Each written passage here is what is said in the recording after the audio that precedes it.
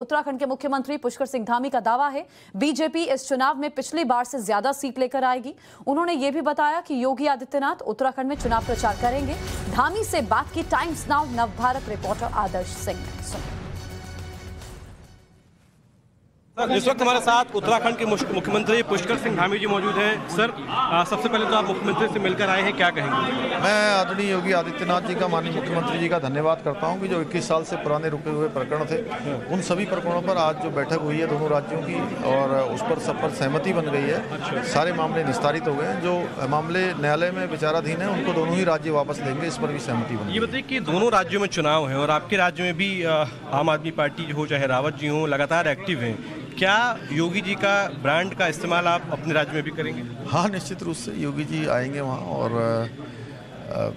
उनका जैसे पूरे देश में चलता है उत्तराखंड से तो उनका विशेष लगाव है विशेष प्रकार का संबंध है वो आएँगे हमारे बीच में। आपके राज्य में क्या लगता है इस बार क्या होने वाला है? इस बार पिछली बार से भी ज़्यादा सीटें आने वाली एक आखिरी कमेंट सर जिन्ना को लेकर लगातार राजनीति तेज उस पर क्या कहेंगे? कुछ लोग केवल और तुष्टिकरण की राजनीति कर रहे हैं उनको विकास से कोई लेना देना नहीं है उनके समय को भी लोगों ने देखा है। यहाँ आज उत्तर प्रदेश के अंदर योगी आदित्यनाथ जी के नेतृत्व में ये प्रदेश, उत्तम प्रदेश बना है। इस प्रदेश में कानून व्यवस्था सुधरी है।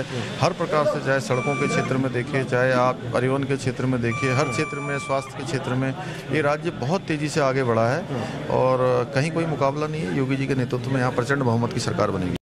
इस बैठक में 21 साल से रुके मामलों पर भी सहमति बनी है। छोटे से